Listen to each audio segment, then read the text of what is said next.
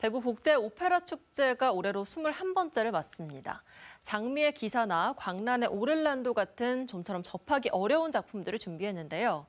대구 초연, 아시아 초연 등 진귀하면서도 창의성과 작품성, 대중성을 모두 갖춘 대작들이 공연됩니다. 이태호 기자가 소개해드립니다.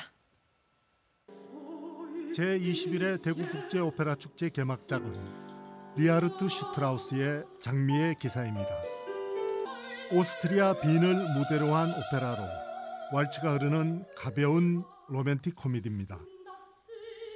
바그너와 슈트라우스 작품을 여러 지휘한 에반 알렉시스 크리스트가 지휘봉을 잡았습니다. 연출은 세계적인 테너 출신인 조란 토도로비치가 맡았고 배역은 한국 성악가들입니다. I create symbolic something what the, the public uh, cannot discover in the first act. So it will be created slowly from different elements.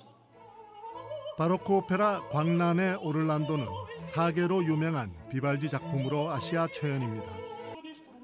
카운트 테너와 콘트랄로 같은 평소에 보기 힘든 성악가를 만날 좋은 기회입니다.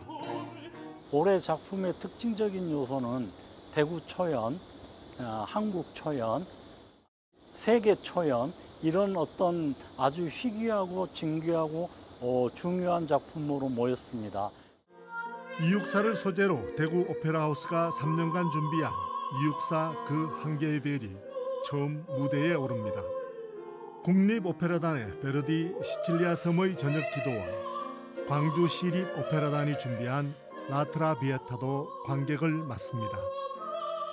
푸치니 서거 100주년을 기념해 루마니아 부크레슈티 국립 오페라 극장이 만든 푸치니 오페라 갈라 콘서트로 올해 대구 국제 오페라 축제는 끝을 맺습니다. MBC 뉴스 이태호입니다.